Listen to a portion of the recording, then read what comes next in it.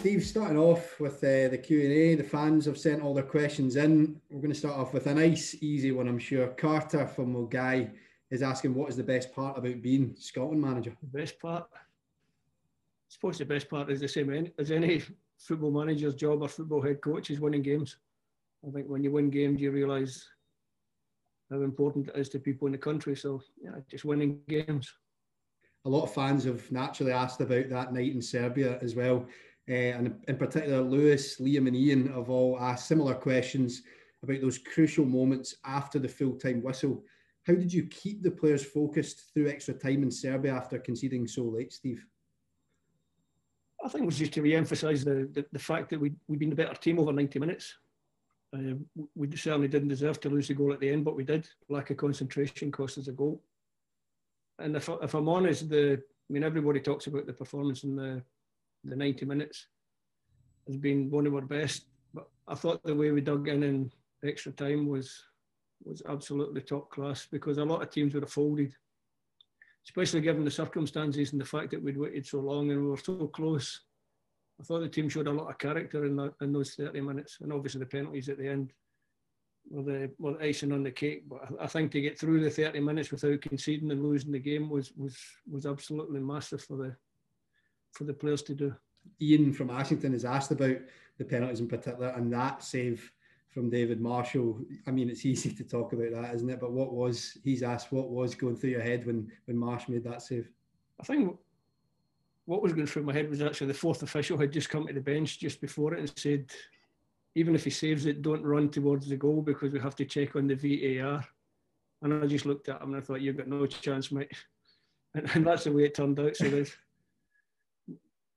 that that was that was really it. And when when David saved it, then obviously everyone just started running around like, like lunatics and celebrating. And, and thankfully the, the VAR came down on our side. Uh, a lot of fans are looking ahead, of course. Um, Alan from Giffnock isn't looking quite as far ahead as the Euros. He's asked uh, about the upcoming World Cup qualifiers, and with this being your first full qualifying campaign, Steve, is there anything that you will look to do to try and ensure that best possible start? I think it's a it's an unusual situation in that we're doing the World Cup qualifiers and the, the international break before the the Euros, which is which is completely unusual. Uh, my biggest concern is that we concentrate only on the World Cup qualifiers. We we have to park the Euros till the summer.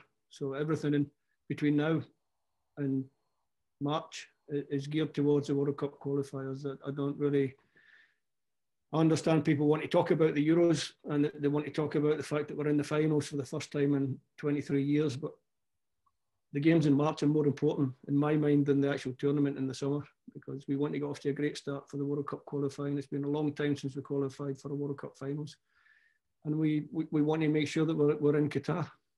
And I'm gonna I'm gonna have to go straight onto the onto the Euros though because uh, as you can imagine, a number of fans have had their questions in Paul from Grangemouth in particular um, is, is asked, what do you think would qualify as a success this summer, the first major tournament in such a long time, of course?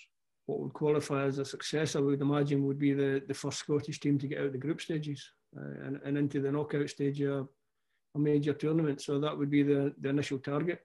And then obviously beyond that, you, you would hope to go as far as, as, as possible.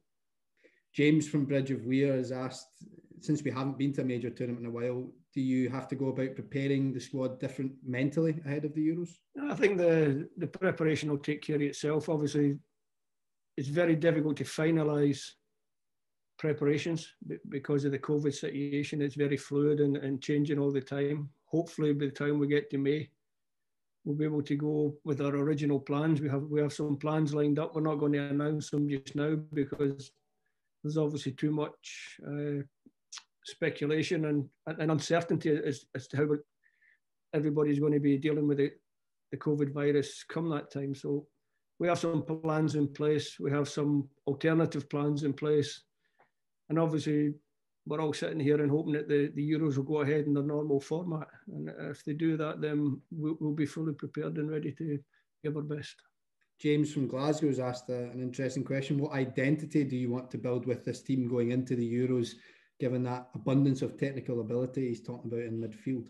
Identity is, I think, the first thing you have to identify with any team is it's winning matches. You want you want to be a team that wins. Now, everybody wants to be part of a winning team that, that plays fantastic football, but sometimes that's not possible. So the first step in that is to make sure that you win games. And if you become successful, and in recent times the team's been a little bit more successful, although I'm very mindful of the fact that we lost the last two games. So we have to build on that. The performances were good, but the results were poor. So sometimes it's better just to have good results and, and build the confidence. Team identity will, will, will come from the characters and individuals that, that play in the team. And obviously different teams will have different identity. Different players will bring different characteristics to the team. It would be nice to have a team that can play in many different ways and, and be successful going forward.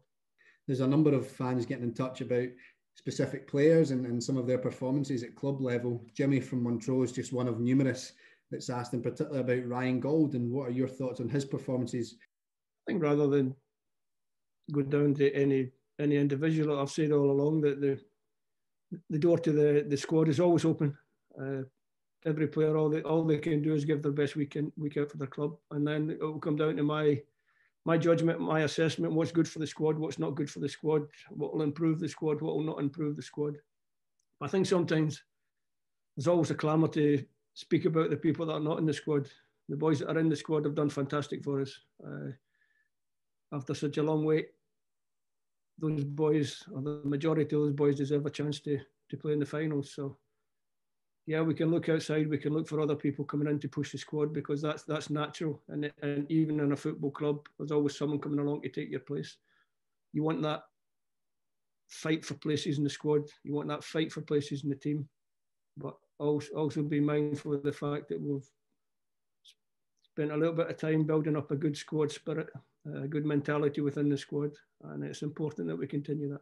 On one of the players in the squad, of course, is again topical for various reasons. Uh, Gordon from Airdrie's asked, as well as a number of others, about Scott McTominay, who's been obviously playing well for Manchester United in midfield. Gordon asks, are you now considering playing him in the middle of the park? Always consider playing Scott in the middle of the park. But at the moment, the or the last time we, we were together as a as a group, Scott's position was one of the back three. He, he played it very very well. Uh, we've got other options there as well. We've got options in midfield, and like I ju- just touched on previously, is to have the the most options you can have in the in all the positions across the pitch. And Scott's obviously done very very well for Manchester United this season, and I'm sure when he comes to the squad in, in March, if he's if he's selected, then he'll do very well in whichever position I decide to play him.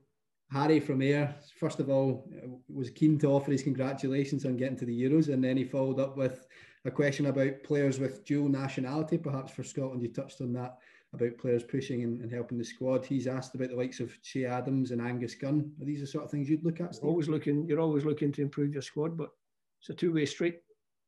You have to want to play for Scotland before we can go down the route of trying to invite them into the squad. So it's it's always been a two-way street. I believe that both those players have been contacted before about playing for Scotland and and haven't decided to go down that route. So let's just wait and see what happens with with the dual nationality boys. You know, it's again it's important to remember that the boys we have in the squad are, are the most important ones. Uh, if other people can come to the squad and help us, if other people want to come to the squad, if they're dual nationality and they want to make themselves available for us, which is what Lyndon Dykes did.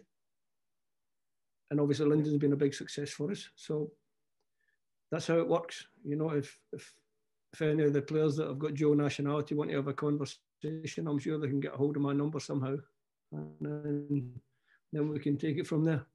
Graham from Dunoon's asked an interesting question, Steve. He says, there's been some unexpected player performances and results in sport in general, uh, which could be attributed to having no fans in stadiums. Could your tactics change depending on if there's crowds or not? Do you take that sort of thing into account? I don't think the tactics will change, but sometimes the, the, the mindset and the mentality can change. Uh, there's definitely been a, a difference in, in results and performances uh, in the way some teams have played, maybe without the pressure of the crowd on them some teams I think have probably missed the, the pressure of the crowd pushing them for, for bigger performances. And there, there seems to have been a little bit of levelling out among, certainly in the domestic leagues, a little levelling out among the teams. Uh, international wise, I mean, I'm, I'm really, really hopeful that we will get some kind of crowd for the for the games in the, the summer months. So if that happens, then like I said, it'll be more a mental thing than a tactical thing. The, the mentality of the players might change a little bit, hopefully for the better and, and not for the worse. Lachlan from Cumnock, Steve, has asked, um, he's watched you being incredibly successful with Kilmarnock, taking them to the highest place, finishing the league, and now leading Scotland to an international tournament. And he's asked, what do you think that you as a manager have to bring out the best in the players that you coach? I've Got no idea, to be honest. I think listen, I just do the job the way I do the job. Uh, I, think the fact that I played the game at a good level, uh, I've never been out the game since I was 17, always involved. I've evolved with the with the game, if you like. You know, sometimes people get stuck in a certain area, a certain era. I don't don't move with the times. I've always moved with the times. I've always tried to mix up my coaching stuff as well, so that they're always challenging and pushing me. and even recently in the Scotland squad, Alex Dyer left to be the command manager, and, and John Carver came in. So always looking to change, always looking to adapt, trying to get the best out of the players, trying to to find a way to simplify the game for the players you've got to make it as as easy as possible for them to win matches. My my job is to prepare a team in the way that I think they'll get results, and if that's been reasonably successful through the course of my career, then that's great. Sam from Port Portsetton asks, "What are you most looking forward to about the Euros uh, yourself? Not just as a manager, I'm sure, but going to a tournament of that caliber." Well, as a player, I, I never managed to do it. It's always been one of my ambitions to go to a, a major tournament with my country. So, didn't manage to do it as a player, which is a shame. But to go there as head coach will be will be a great experience. Uh, I go there to to try and enjoy it, but I know what I'm like. I'll only enjoy it if we're successful, and, and, and that's the bottom line. You know, I think the, the two games at Hampden will be great if we can get crowds in. Will be even better than great, and obviously the, the trip to, to Wembley for a game against England will be will be a, a great occasion, but it'll only be a great occasion if we can come away with something from the game. So positive results and hopefully a great summer for us for everybody involved. Coming towards the end, we've got a few fun questions for you as well, Steve, that have been sent in. Ross from Edinburgh.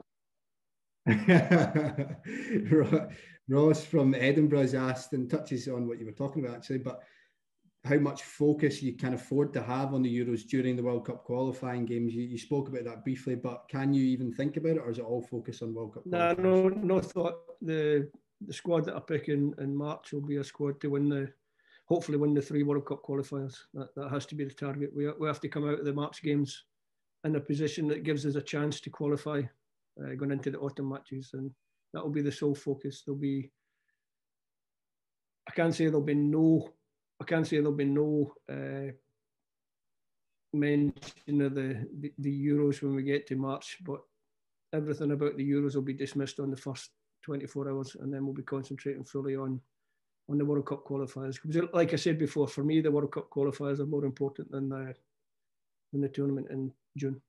Some some quick fire ones for you, Steve. You've been asked uh, if you're collecting them. Have you completed your Panini sticker album book yet? I passed it down to my grandson. I'm not sure he's I'm not sure he's completed it yet.